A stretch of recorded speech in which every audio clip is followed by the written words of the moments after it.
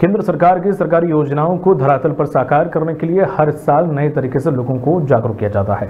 इसी क्रम में यहाँ काला डूँगी तहसील के ब्लॉक कोटाबाग के अंतर्गत न्याय पंचायत बेलपड़ाव में खुली बैठक का आयोजन किया गया, जिसमें ब्लॉक कोटबाग के पंचायत से जुड़े अधिकारियों सहित ग्राम प्रधान राजेंद्र कौर और क्षेत्रीय ग्रामीण काफ़ी संख्या में मौजूद थे।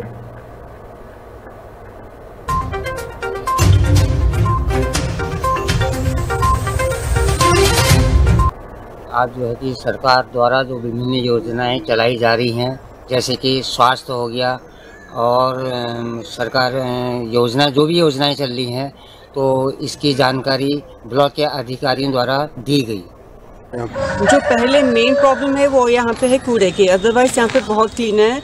जो कूड़ा है, यहाँ पे बाज़ार भी लगता है पंचायत घर के सामने ही बाज़ार लगता है। वहाँ पे बहुत कूड़ा हो जाता है। इसलिए हमने जो चौपाल हुई थी, उसमें भी ये प्रस्ताव रखा है कि हमें यहाँ पे दो बड़े डस्टबिन दिए जाए, ताकि उसका रेगुलर यहाँ से कूड़ा उठाया जा सके और यहाँ पे जो क्लीनिनेस है वो रखे, जो बीमारियाँ फैलती है, उससे रुकावट हो सके।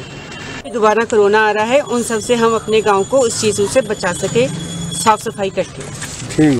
इसमें ज़्यादातर समस्याएँ कुछ व्यक्तिगत है, कुछ सार्वजनिक है, और राशन कार्डों से संबंधित कुछ समस्या थी, उनका लगभग निराकरण हो चुका है यहाँ पर अधिकतर, और कुछ उनको जो उनको, जो पब्लिक उपस्थित थी, उनको बता दिया गया कि उनके जो भी ऑनलाइन प्रोसेस है, उसके माध्यम से इनके सारी समस्याओं का जन्म मृत्यु से संबंधित या परिवार रजिस्टर से संबंधित सारी समस्याओं का निराकरण यथा समय पर किया जा रहा है।